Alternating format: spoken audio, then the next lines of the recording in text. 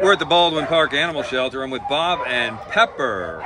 Pepper's ID number is A5554108. Pepper is a one-year-old female spayed pit bull mix, black and white. Came in around 517 of this year as a stray, about 50 pounds. Bob, take it away. She's super sweet. My favorite dog so far today, huh?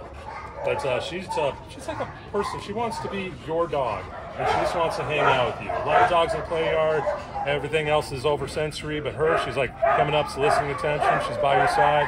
Anywhere I walk, she's like, "Where are we going?" So she's a good dog. Walks pretty well on leash. You know, some basic commands. Just super sweet.